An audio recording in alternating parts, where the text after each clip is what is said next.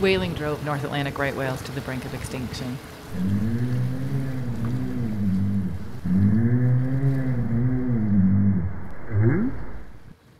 All of a sudden, there's this whale just sort of bobbing along at the surface. And to our amazement, it was a North Atlantic right whale. And then, as soon as it was there, it took a dive. I never thought I would ever see one because of how critically endangered they are. There's less than 500 left, and the loss of one animal literally could jeopardize the population. It's not even one problem on its own. From a cumulative impact standpoint, we're doing a lot of harm out there. But on the other side of it, we can do a lot of good. 72% of their known mortality comes from vessel strikes and fishing gear. And we believe that's because they're so very urban. They live so close to shore. They just strain across the surface. So they'll be at the surface with their mouth open for long time periods and the water will come in the front and go out the side baleen. And their whole lower jaw is full of water at that point. So it works like a big sea anchor that's just got tons and tons of gallons of water in it so that you can't move very quickly. If under great duress they might be able to do eight knots, and but they're normally moving at two to three or less, whereas these container ships can do up to 25, 30. So, you know, modern ships move very fast.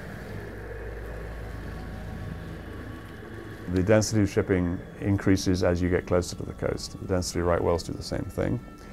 They also migrate up and down the coast, so they are crossing busy shipping lanes on a routine basis. The ship strike rule is one of those places where we were instrumental in getting that rule in place. It's just asking at certain times and seasons when right whales are in specific habitats that ships over 20 meters, over 65 feet, slow down to 10 knots. It makes our days longer, it makes fishing a lot harder because we, we go farther in the springtime than we do in the summer. So it slows our day down. I think it's unfair and unjust that they regulate us down to 10 knots, but Joe Boater can get in his boat and go out and do 30 knots. Whether we're out fishing or even whale watching, you're watching these guys that are driving right straight through pods of whales with no license, no training, no nothing. But we sit through Whale SENSE. We've been doing this for years. If you want to set these rules, set them for everybody, not just about the 65 feet and greater. There, no, that's the, that's the scar. Go to his back. Vessels can kill whales with massive lacerations, or incisions from the propeller, or you can hit them with the front of the ship and cause them to have internal trauma without necessarily cutting the skin at all. So there's our right whale. She was unfortunately accidentally struck and killed back in uh, November of 2004. So when the ship crossed her path, it sliced off her left fluke, so the left half of her tail got sliced off. Okay. And ultimately she bled to death. And then the fetus's bones, and I know I haven't talked at all about her yet. So unfortunately for mom, and mom here was 15 years old, okay. she was pregnant with her first calf.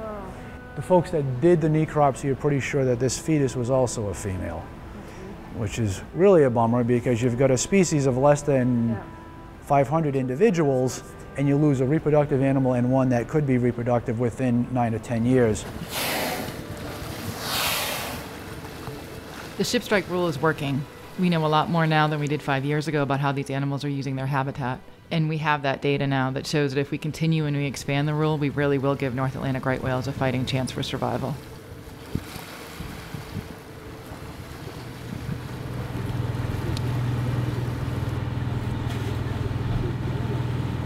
Whales can get entangled in fishing nets, in fixed gear, you know, uh, the vertical lines. You have a small fishing line going down to a number of pots, very hard to see in the water and they swim into these lines and get entangled. Used to be when fishermen dropped their lobster pots, there would be a line between each pot that used to float into the water column where whales diving could entangle. Fishermen are now required to turn in that floating line for sinking line, which lies on the bottom so whales get tangled in it less often. They still get tangled, but less often. As far as the lines up to the buoys, there's still a lot of work being done on that. Let's say we're right where the pole is. We're right on her fluke. Okay, watch out now. In fishing gear entanglement cases, the average time to death is around six months. So that's obviously a much greater animal welfare concern. You can see surface trauma from the gear, and you can often see bone trauma from the gear. So around the flipper in particular, the gear will wrap, many wraps around, the animals spin around trying to get rid of it, and all they do is wrap themselves up more. We know that that's excruciatingly painful. Chronic pain is debilitating in itself. There's about three lines that are coming right out of the mouth there. When you've got rope in the, in the mouth, you're destroying their ability to feed efficiently, but also you're increasing their energetic cost because of the, the need to be able to push the body through the water with a lot more drag. There's a million things that I love about lobster and never gets old. I don't see whales too often. They've affected us a little bit as far as like breakaway buoy lines and non floating rope, which I can understand why you do it. As far as breakaway buoy lines, I don't mind abiding by it.